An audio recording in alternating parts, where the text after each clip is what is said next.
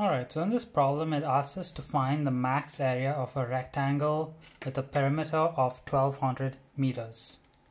So let's draw a rectangle here. Now this rectangle can be this wide or it can be a little less wide. You don't know what the actual solution is. Now, technically speaking, without doing any calculations, the solution is always going to be a square for questions like this. So for my square, all four sides have the exact same width. So it's just 1200 divided by 4, which is basically 300.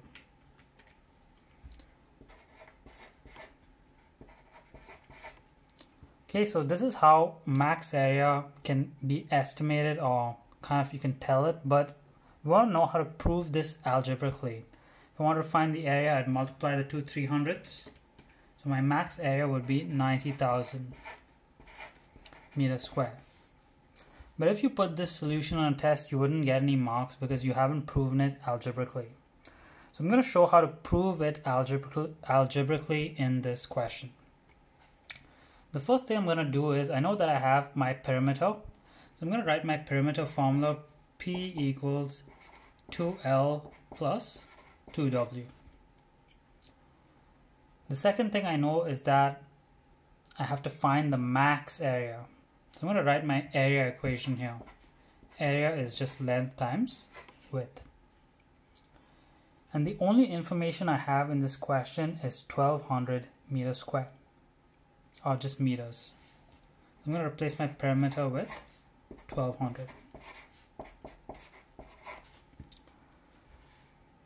Okay, so this is what I've got here and I have to use this to somehow find my max area. Well, the key to doing this is to first isolate a variable here and then sub it in this equation. So I'm going to isolate my length. I'm going to move the 2w to the other side.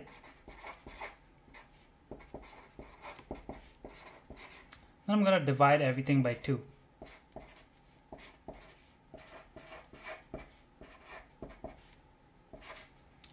So 600 minus w is going to be my length. I'm going to substitute it over here in this equation.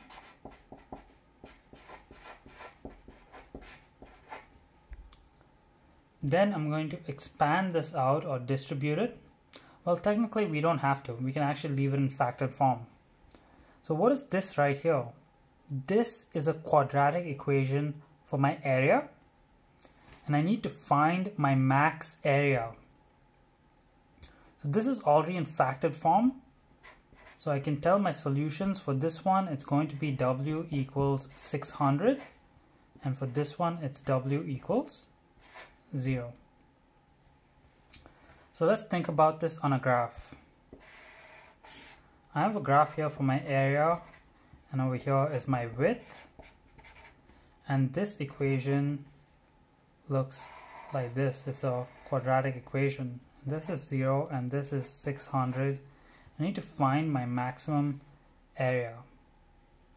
So that's the y value of this equation. So basically I just have to find my vertex.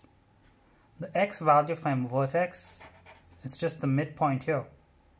So my x value or my w is 600 plus 0 my two x-intercepts divided by 2 which is 300 and as you can see it's the same as what I showed in the square.